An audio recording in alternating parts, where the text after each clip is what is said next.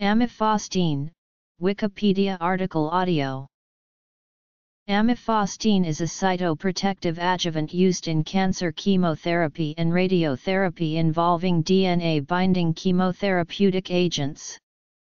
It is marketed by Clinigen Group under the trade name Ethyol. Amifostine is used therapeutically to reduce the incidence of neutropenia-related fever and infection induced by DNA-binding chemotherapeutic agents including alkylating agents and platinum-containing agents. It is also used to decrease the cumulative nephrotoxicity associated with platinum-containing agents. Amifostine is also indicated to reduce the incidence of xerostomia in patients undergoing radiotherapy for head and neck cancer. Indications Pharmacokinetics Amifostine was originally indicated to reduce the cumulative renal toxicity from cisplatin in non-small cell lung cancer. However, while nephroprotection was observed, the probability that amifostine could protect tumors could not be excluded. Additional data have shown that amifostine-mediated tumor protection, in any clinical scenario, is unlikely. Amifostine is an organic thiophosphate prodrug which is hydrolyzed in vivo by alkaline phosphatase to the active cytoprotective thiol metabolite, WR1065. The selective protection of non-malignant tissues is believed to be due to higher alkaline phosphatase activity, higher pH, and vascular permeation of normal tissues.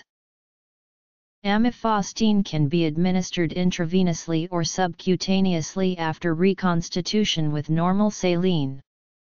Infusions lasting less than 15 minutes decrease the risk of adverse effects. The patient should be well hydrated prior to administration. Inside cells, amifostine detoxifies reactive metabolites of platinum and alkylating agents, as well as scavenges free radicals. Other possible effects include accelerated DNA repair, induction of cellular hypoxia, inhibition of apoptosis, alteration of gene expression and modification of enzyme activity. Amifostine is believed to radioprotect normal tissue via Warburg-type effects. Common side effects of amifostine include hypocalcemia, diarrhea, nausea, vomiting, sneezing, somnolence, and hiccups.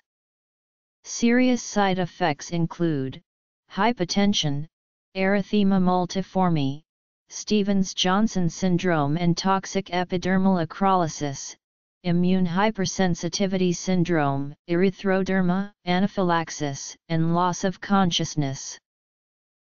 Mechanism of action Contraindications to receiving amifostine include hypersensitivity to amifostine and aminothiol compounds like WR1065. Ethyol contains mannitol. Adverse effects Contraindications